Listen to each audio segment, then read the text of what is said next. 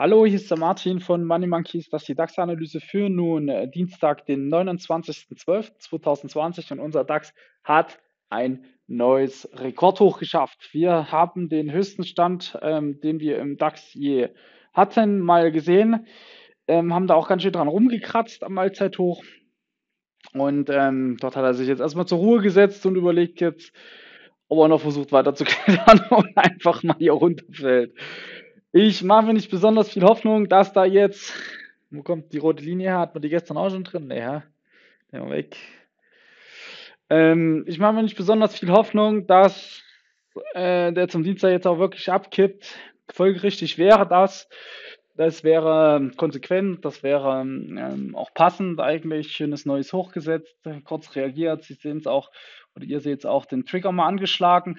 Aber runterzu ist nicht viel reingekommen halt. Ne? Der ist sehr träge gewesen, hat sich sehr flach zur Seite gelegt. Sollte er jetzt runterkippen und ich sag mal so unter 67 fallen, ähm, könnte ich mir schon vorstellen, dass wir so Stück für Stück dann einfach weiter runter segeln. So Meter für Meter. Die nächste Schritt wäre dann die 37.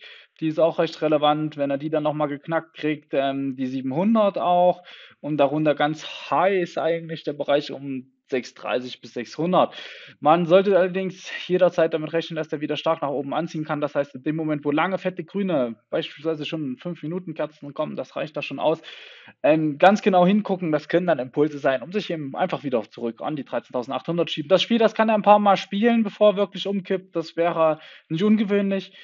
Ne? Und deswegen da ein bisschen Aufmerksamkeit. Streckt er sich, aufmerksam sein, streckt er sich deutlich nach oben, macht er auch lange grüne Stundenkerzen, ist das im Grunde eigentlich dann nochmal eine Vorlage nach oben raus, um weitere Ziele zu schaffen. Ähm, das bleibt jetzt alles gültig und weiter aktiv. Das heißt, sollte er sich nicht nach unten einrenken, wäre nach oben der Weg dann weiter frei Richtung 14.000 und 14.100. Zwischenstation wahrscheinlich erstmal so 890, 900, das wäre recht üblich. Das sind so bekannte Marken, Marker bei 11.900, 12.900, 10.900.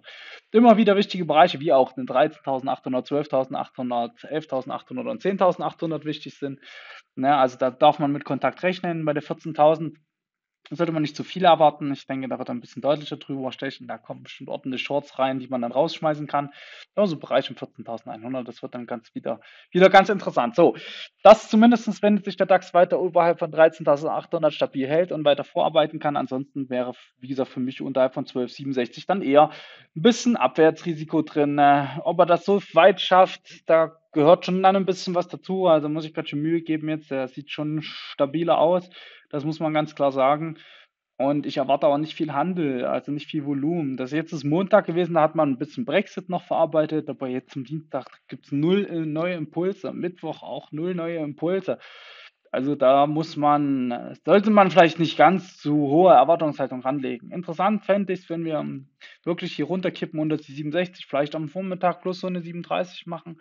Sollte dann auch zum Nachmittag dann nochmal weiterfallen, ähm, könnte das dann zumindest mal nach, ja, schon nochmal Richtung 650, 630, 600 gehen. Ne? Das ist interessant. Ob die Superzone hier bei 460 bis 440 dann kommt, wäre eigentlich ungewöhnlich jetzt schon zum Dienstag, sollte aber niemand nie sagen.